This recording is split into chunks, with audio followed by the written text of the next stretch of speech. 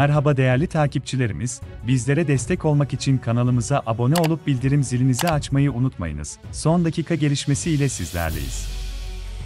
Mariupol dehşeti, geride hiçbir şey kalmadı. Rus kuşatması altındaki Ukrayna'nın Mariupol şehrinde savaşın şiddeti her geçen gün artıyor, Rusya'nın ağır bombardımanı nedeniyle çok sayıda sivilin hayatını kaybettiği kentte, mahsur kalanlar ise sığınaklarda yaşam mücadelesi veriyor.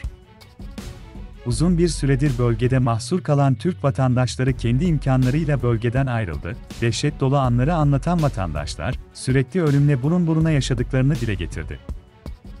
Yeni Şafak'ın ulaştığı vatandaşlar şunlar söyledi, biz 24 gün evin koridorunda yaşadık çünkü bombanın etkisiyle camlarımız kırıldı. Bombalama durduğu anda bir arkadaşım mutfakta çay demlerken aniden patlama oldu ve yüzüne cam parçaları geldi, yaralandı. Mariupol'de çok fazla bina yandı ve yıkıldı. 24 saat bombalama altındaydı şehir. Çok fazla ölü vardı. Evlerde yaşayan insanlar vardı ve binalar sürekli bombalanıyordu. O binalarda insanların yaşadığını biliyorduk ama gidip müdahale edemiyorduk. Ölüm her zaman insan için var ama zamansız yersiz ölüm çok kötü.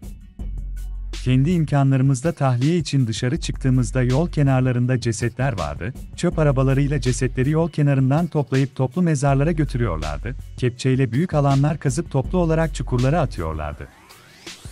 Ölen askerlerin cesetleri yakılıyordu, korkudan bakamıyorduk görüp kaçıyorduk, birçok insan enkazda kaldı kurtarılamadı, savaş bölgesi olduğu için insanlar ölüme terk ediliyor, şu an 40 Azerbaycan vatandaşı da sığınaklarda mahsur, Allah yardım etsin, dedi. Kıymetli takipçilerimiz bir haberimizin daha sonuna geldik, bir sonraki haberimizde görüşmek üzere.